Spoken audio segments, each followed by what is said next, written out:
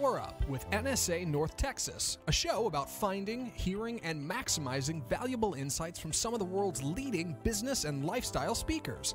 Each week, international keynote speaker and National Speakers Association North Texas chapter president Betti Coffey sits down with some of the most exciting speakers this side of the globe to hear from these subject matter experts what's making a difference in business today and learn all there is to know about people, profits, and productivity in business from some of the world's best motivators. This is Power Up with NSA North Texas. And now, here's your host, Betti Coffey. Hi, everyone. I'm Betti Coffey, President of NSA National Speakers Association North Texas Chapter, and I want to welcome each of you to our show today. The National Speakers Association is the premier organization for professional speakers. We're number one across the globe. And we have we have motivators, we have coaches, we have consultants, we have educators, we've got trainers, we've got we have phenomenal speakers that speak every day about some of the cutting edge issues that businesses are experiencing. What are those cutting edge issues? What are those issues and and and things that they messages that they want to get across to their companies? Well, they asked our NSA North Texas chapter speakers to come speak to them. And you're going to hear from those subject matter experts today. I'm so excited about my guest today. My guest is, is Debra Hunter Johnson. She is fantastic and she's a powerhouse. Debra is a speaker, trainer, uh, consultant, and coach. She has 30 years of experience in navigating entrepreneurial, large corporate, and nonprofit organizations. She offers actionable tips to organizations that will, are you ready? Are you ready? Accelerate their wisdom curve. Did you know we have a wisdom curve? I didn't know that we had that, but we're going to find out about it. Accelerating how to accelerate your wisdom curve and that assists all that assists all different types of professionals in both their business and personal lives. Debra has served on high-level leadership positions in business in the Dallas community. She's been the vice president of, HR and an associate general counsel with American Airlines. Currently, she is the UTSW's Presidential Advisory Board and chairs its Marketing and Public Affairs Committee.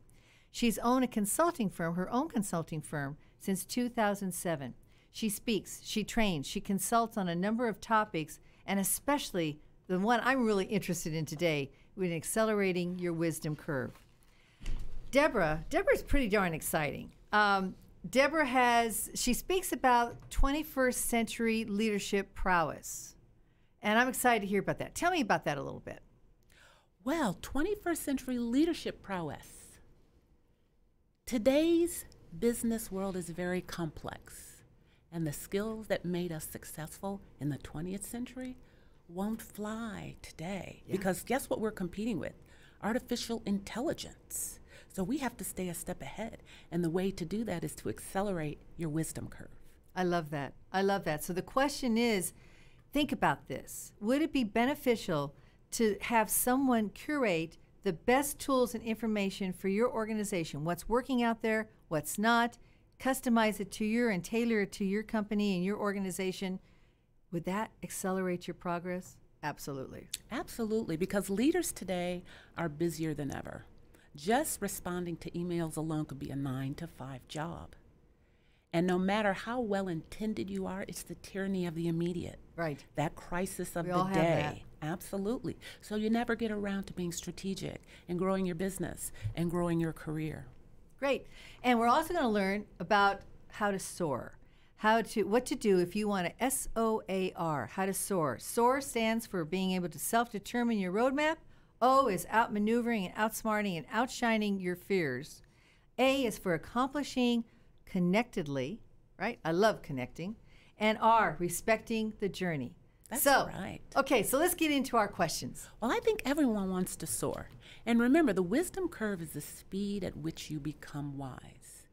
And I help people save time and energy while accelerating their career progression. So I tell people what they need to know now mm-hmm. so that they can more quickly turn missteps and mistakes into lessons learned and winning moments. Everybody wants to soar, self determine their own roadmap. Today's employers expect you to come to the table ready. Exactly. And just think about if you have your own ideas about a business. but you know you need to figure out a roadmap to get there. I love that. I love that. So I'm intrigued. I'm intrigued by the SOAR concept and accelerating your wisdom curve. Tell me a little bit about you and what it means to to how you got into this and accelerating a person's wisdom curve. Tell me how you got started and then let me start learning about that curve. All right, I'd love to. I've had the good fortune of working in a number of industries. I've been in private practice at a law firm. I've worked for American Airlines, Chrysler Corporation. I've consulted in the pharmaceutical business, the entertainment industry, retail. And so I've seen leaders across the board, very dynamic, very smart people fall into traps under stress. For example, the whack a mole approach Betti, you know that arcade game. Yeah, I used to You play get it all the time. Right, you get the rubber Whack-a-mole. mallet, and the goal of the game is to keep those moles in the hole. So you spin all day long, whack, whack, whack, whack. But is that strategic? Would it be better to take a moment and figure out how do we get rid of the mole problem forever? Oh, I've seen leaders allow disrespectful cultures to blossom because they don't take the time to have those tough conversations with people. I had a boss who actually, and she was at the top of a very important federal governmental ag- agency mm-hmm. when I was a legal intern. right. And I walked by the copy room and she was making copies. And I asked her if she needed help. She turned it down because she said, These are very complex copies and only I can do them. Oh, jeez. And as a legal intern, I'm at the bottom of the food chain and I knew that there had to be other people that could do that task for her. Exactly. So I felt, I saw these issues and felt that I could help people out in this space. I love that. You said that you're in your experience in your career, you you you found a way to help business accelerate, help people accelerate their learning curve. Share some examples of accelerating your learning curve. Well, keep in mind there are lots of core attributes that people need to have, no matter what your job is, no matter what your leadership level is. For instance, everyone needs to know how to negotiate. Mm-hmm. So I have a workshop on the art and science of negotiation because actually we are hardwired to have certain attributes, particularly there are differences between how men and women negotiate. So I highlight those and give people a strategy to be successful in negotiations. I love that. We all need to know how to manage conflict in the workplace. We all need to know what our level of confidence is and what we can do to increase it because there is a direct tie to confidence and success. So I work on some of those issues with people. I love that. So talk to me about how you are a, a curator of information. How does that work? Well, as a vice president of human resources, again, I had to help develop and cultivate and engage thousands, tens of thousands of employees. And it gave me a bird's eye view to books, tools, diagnostic testing that I could actually put into use and become wise on what tools helped people in different situations. So I've done this for decades. So I can help people cut through the noise and get more quickly to the information that they can turn into knowledge and then turn that knowledge into wisdom. Love it. If people had the time to do it on their own, they would, but they don't. And that's why I'm here to help do that. So you just said something I think is really important that wisdom, wisdom equals knowledge plus experience. That's right. And by and gaining bottom line, that's what you bring. That's right. And I bring my perspectives because everyone doesn't have to learn through the school of hard knocks on their own. You can learn from other people's hard knocks. Makes sense. And sense. I share my perspectives because I was a woman of color that navigated to the top of a Fortune 100 company. And I had to learn how to do that, keep my spirit intact, Exactly. and keep my value system intact, and have a good sense of who I was. Very admirable. Very admirable. So you speak, you train. There's a lot of people out there that speak, that train, that coach, that consult, and they work with great leaders. You've given us an idea of what makes you special and what makes you different. Can you elaborate on that a little bit? Do you have a team backing you up? Tell me a little bit about your operation. I would be happy to. I have a network of people from my work in various industries mm-hmm. that I pull in whenever I need them. I know neuroscientists, I know lawyers. You all need a good lawyer, okay? no matter how scary. Exactly. People who are experts in communications, people who train, people who design training, psychologists. So, whatever the needs are, because I am a firm believer that you need to get to the root cause of a problem. Mm-hmm. Otherwise, you're solving for the wrong problem. And many times you need to draw on the right people to help you do that. So, for instance, I've seen situations where someone comes in and, and they hear about a problem that a client has and they jump to solution automatically. I dig a little deeper. So, say there's somebody who's having trouble making deadlines, mm-hmm. getting to meetings on time, handling their book of business, handling their leadership role. Mm-hmm. Someone might automatically assume they need a good cal- calendaring system with prompts that helps them keep themselves organized. You might dig a little deeper and find out that the person really doesn't like their job. And that is why they're not That's right. being successful in it. Right. And you need to solve for that problem, not just the symptoms, Makes but the root cause. And that's what you go after the root cause. Yes. Um, give give our audience a little bit of an idea as far as who your typical clients are, mm-hmm. uh, and what are the typical issues and, and goals that they want to achieve. What do you see out there? The people that I help are companies who need to develop, motivate, and retain their talent, because being able to do that drives the success of your company. And I help people design strategies so that they can engage their people. A lot of people have a thirst for wisdom. Mm-hmm. They want to know how do I grow my career? So I have a workshop that's called the Roadmap from Technician to Trusted Advisor. Love that. Because when you get to a certain leadership level, everyone's competent. Everyone has the technical expertise to rise up the ranks, you have to have wisdom.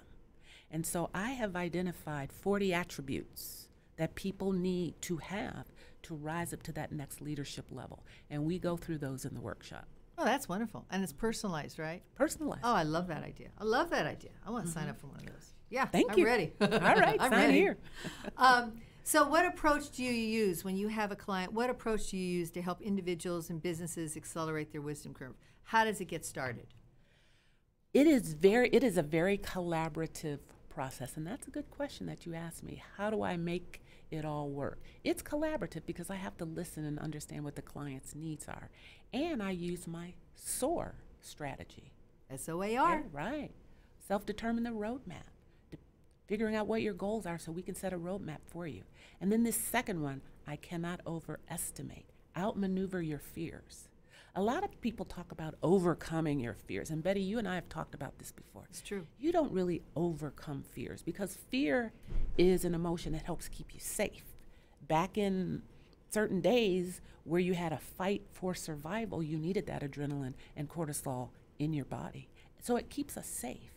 But it some, sometimes it can create barriers to success and it comes up on a daily basis. So rather than thinking I overcome my fears once and for all, which nobody ever does, you outmaneuver them on a daily basis. And I help people with strategies to do that. Love that. Uh, when I've listened to you, you talk about confidence a lot. Uh, you, you, talk about confidence, and I, want to understand why do you give confidence so much emphasis when you are working with your clients? Well, what I found, Betti, and I admire you because you are so confident. You are such a confident leader of NSA&T. Thank you. And that was something I struggled with uh, in my career. I was focusing on being smart and diligent and hardworking, but inside I was a bundle of nerves until I started recognizing that I had to think about confidence differently. And there are a lot of studies out now, a lot of neuroscientists right. and psychologists are doing studies right. that show that confidence is the stuff that turns thoughts into actions. Oh, that's true. Absolutely. That's, that's and so that you need confidence. Confidence is the igniter. You get that little kernel mm-hmm. of confidence to take an action, it builds more confidence. Then you act some more you gain more confidence. Get the momentum going. Right. So Love it's a momentum. virtuous cycle, a confidence cycle. Yes. So I focus on that now because what I recognize is the sooner you understand the role that confidence plays in your life, the more successful you'll be. Love it. There's a book that I really like. It was written by uh, Kay and Shipman. It's called The Confidence Code. And what they have said in the book is confidence is no longer the sideshow, it's the main event. Really? Yes. Really? Confidence is at the root of most things.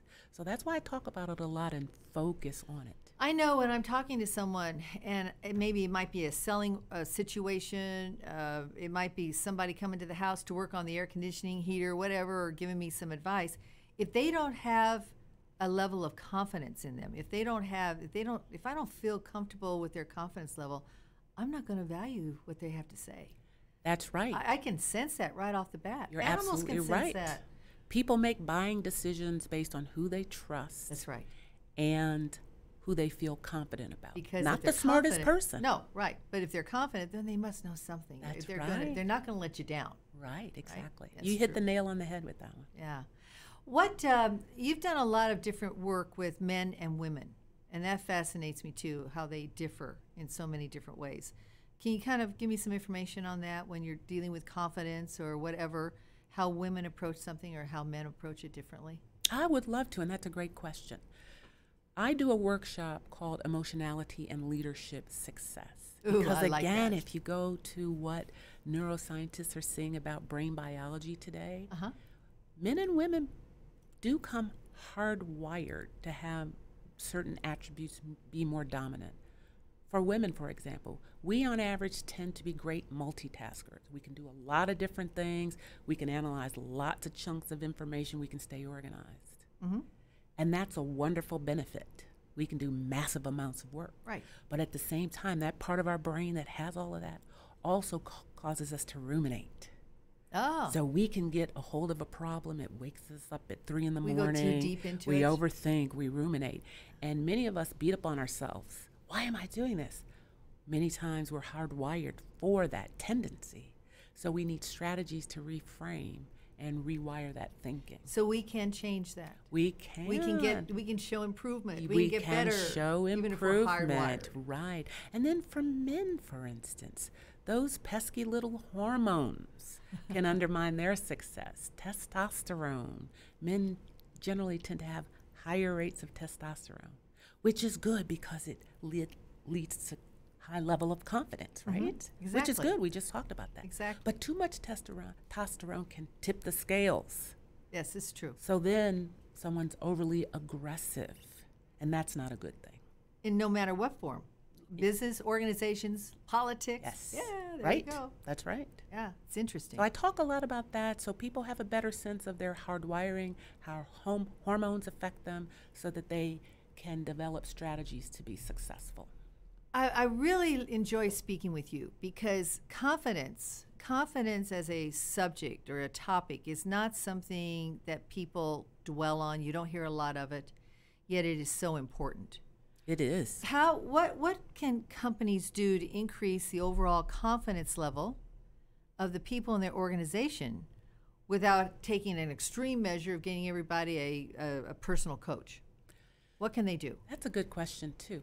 One thing that I found, and this was in my experience of trying to create a positive culture where I worked, Uh huh. you have to understand the root cause of any conflict in a culture. You have to provide a safe and respectful culture So for people to speak up, for people to have the confidence. The certain behaviors have to be modeled from the top, but there has to be a sense that there's open dialogue as well.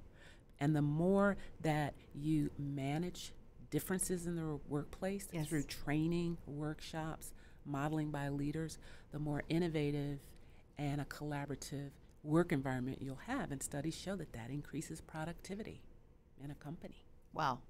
Makes so much sense. I love this. I love this. I do too. It's fascinating. You were busy. Um, we were talking, and you expressed to me that you you've been very busy. So it's been tough to get you on the show. So I'm happy to have you here. Well, I'm glad to be here. But you were very, very busy and very keenly focused on some of the top issues we have in our culture today. And one of those is the Me Too movement. Uh, tell me about that. What are your some of the takeaways from those experiences as, as you've been working with different people on that? Give us some insight there. I certainly will. The Me Too movement has been a game changer in our society. Um, as a an attorney, mm-hmm. I've been involved in harassment issues for decades. These laws have been on the books for a long time. But what has changed society's thinking on this? Two things technology and social media. Because anyone with a device and a Twitter account is a reporter. You're powerful. Absolutely. And so issues that could be buried and resolved quietly mm-hmm. no longer can be. And companies are recognizing that they have to change how they address these issues. They have to go again to the root cause and start protecting their employees by educating them on how to deal with away. cultural differences. That's right. Because you have all kinds of people in the workplace today, right? Gender, culture, customs, languages, religions, and then they're all together in the same space. Exactly. Not sure how to navigate. And so smart companies are training their teams, educating them, making sure that they understand the new rules of engagement. I love that. And that is so timely and so important. It's not going to go away. It is not going away. It's and I have done, I think in 2018, I did about 80 workshops on really? culture and tied to sexual harassment issues. So I saw a lot and I see that at their core, most work environments are thirsty for the information. They want to understand. They don't want to offend anyone. Yeah. They want to know how to navigate. So this is good timing for companies. I love that. To do that work. Okay, you've mentioned that you've done so many presentations and workshops and everything else. So tell tell our audience a little bit about some of the customized because I know you customize everything. So about some of the customized events and workshops that you have. I know you do key presentations. So let's start there on your presentations to motivate, educate? Yes, some of the things that I really enjoy doing for companies is helping their teams increase their confidence level. And I have a keynote that's called Leveraging Confidence to help your team soar. Oh, there's my soar again. And I challenge people to think about confidence differently uh-huh. as fuel, as not a destination in the distant future, but as a tool to help them achieve their goals. Love and then I have another keynote that's called Fake It Until You Make It and Other Bizarre Leadership Advice. Because that's one of them. Fake it till you make it.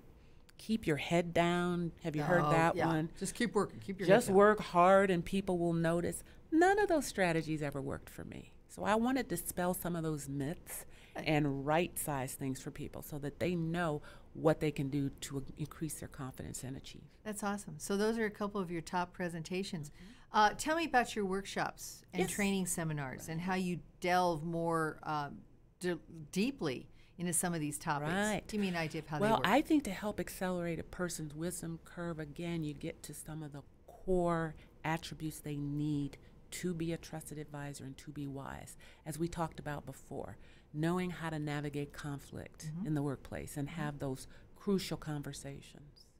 The art and science of negotiation, because we all negotiate in our Every personal day. lives Everything. as well as our work lives on a daily basis. And again, the one that I really enjoy going from technician to trusted advisor. Oh, the earlier people recognize you have to build trust, what trust looks like to people, yes. the more successful they will be. Love it. Okay, and do you do one-on-one coaching or was it mostly group coaching or organizational coaching? I do one-on-one coaching and I tend to do it in a non-traditional way because I am not a therapist. So, I can help people achieve their goals. So generally I work with people on a 60, 90, 120 day basis. We set some specific goals. Mm-hmm. We build strategies mm-hmm. for the plan they launch it, but then they go off and execute because you need time. Again, that confidence cycle, build up confidence to act, right. to get more confidence, to learn from your actions, to see what setbacks you had, what lessons do you learn from it, so you can keep on that confidence cycle. And I know you're always consulting. You're always consulting to help organizations with that safe, respectful, collaborative working environment, right? I do that, and I also like to work in the community uh, focused on young girls and women and confidence because it's very much needed. I love it. Okay, so if our audience wants to get in contact with you, tell them tell them how they can contact you. Sure, there are multiple ways to get in contact with me. I have a website www.debrahj.com. That's D E B R A H J.com. Or you can email me at wisdomcurve at debrahj.com. That's W I S D O M C U R V E at debrahj.com. Again, D E B R H J.com. Or you can just call me. Here's my preference. right, 214 850 4581. I'd love to hear from you. I love this. We could have talked so much longer. I know. And, and go into some up? of these. Yeah, almost. Oh. Yeah, almost. It's almost time for our last words. But I love talking with you. I love the your approach to things, the wisdom curve, the fact that I can change it and even get Yes, better. that's right. Hey, there you There's go. time. Um, and you know, I always start these shows by saying we have our our leaders and our trainers and and our consultants and our speakers, and they are on the cutting edge. They are the subject matter experts. You truly are. You really, truly are. Well, thank Debra you. I Hunter appreciate Johnson. that. You truly are. Uh, you go in there, you do your homework, you do your research, and you bring the absolute top, top knowledge to a person or an organization, a company, of what's what the latest is. Well, I enjoy the work. And I love that. That's the subject matter expertise that makes our National Speakers Association so unique, so different, and so important. Thank you. Thank you. Thank you for having me today. Okay, so if you have some last words, last words you want to leave our audience with today, what would it be? Wise people are made, not born. Wise people are made, not born. Think of confidence in a new way as fuel to help you achieve your goals. I love it. thank you for being my guest today. Well, thank you. It's been very exciting. And thank you. Thank you so much for joining us. Remember, it's all about powering up with confidence, Debra. With That's confidence. right. It's all about powering up and soaring. I'm going to get some a little mileage All out of right. this. It's all about powering up to be better, to be faster, to be stronger. Thank you so much for joining us. I'll see you next week. Thank you. And thank you. Thanks for listening to Power Up with NSA North Texas. Find out more about today's guest or NSA North Texas, visit www.speaker.org. To find out more about Power Up, visit our Facebook page at www.facebook.com slash groups slash NSA North Texas.